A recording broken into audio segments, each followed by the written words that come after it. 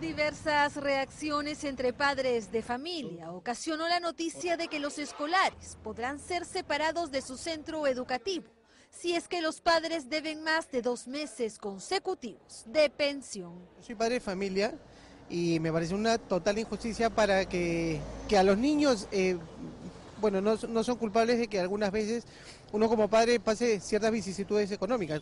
No me parece justo, ¿no? Porque si no pago, va a haber un momento que sí lo voy a poder hacer.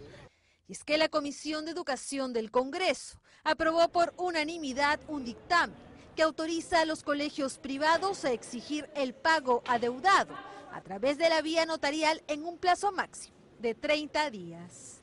Pienso que deberían de este, eliminarlo o archivarlo, ¿no? Porque no, no deberías proseguir. Pero yo pregunto una cosa, ¿no? ¿Y a qué se debe entonces que el gobierno ha intervenido? ¿Que tanto poder tienen los colegios?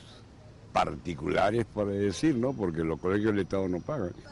En su mayoría, las personas encuestadas rechazaron el proyecto de ley, pues estaría atentando contra la educación de los menores.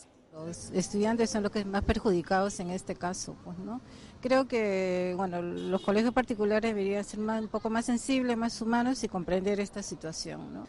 Primero, como le dije, con la salud del, niño psicológicamente lo va, lo, va, lo va a poner mal y es una injusticia porque a veces uno no, no lo hace porque quiere pero pero de ahí a, a, tomar esa, esa acción tan, tan drástica me parece súper malo. La propuesta legislativa señala que si no se paga en el plazo establecido, las instituciones iniciarán el retiro del estudiante para su traslado a otro colegio en coordinación con la UGEL. ¿Qué va a tener que pagar los platos rotos?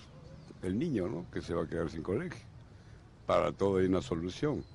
Puede haber un, un, pago escalonado o me lo fracciono o algo así, buscar una solución más más loable.